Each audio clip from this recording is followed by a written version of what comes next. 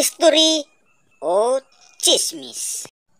Mga tangay, di kita sa Fort of Kuyo.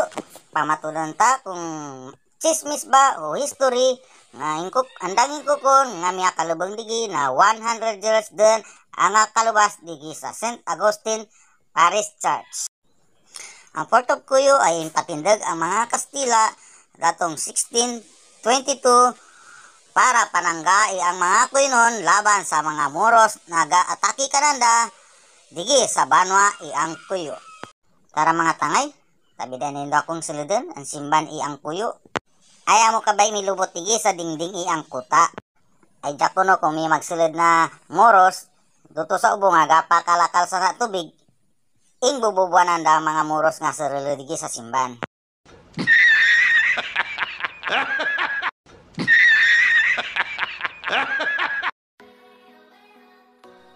Dan po ang kumbento ang simbahan ng Kuyo. So may three-story building po ta na.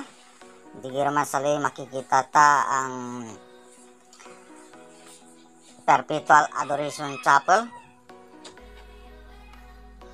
Sa dagi po may agdan.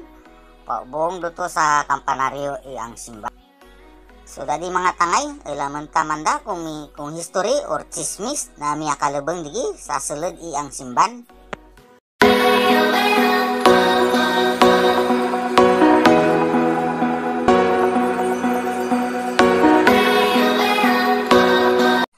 Makonsanda di kuno dato makikita sa mi altari ang simbahan. History o chismis.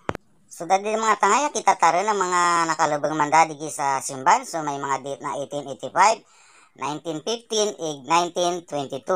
So pamatuladya ay history ig bakani chismis.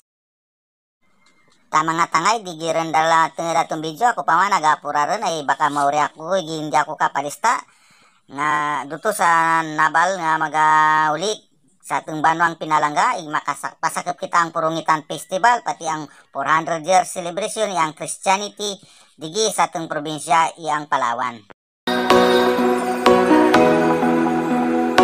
Salamat mga tangay sa pagpaloy ang ROG vlog. Tabidanin do ko pa sa mas marako pang vlog nga atong may picture di sa atong page. Amos tara, mauruloy kita rin mga Buati sinakul.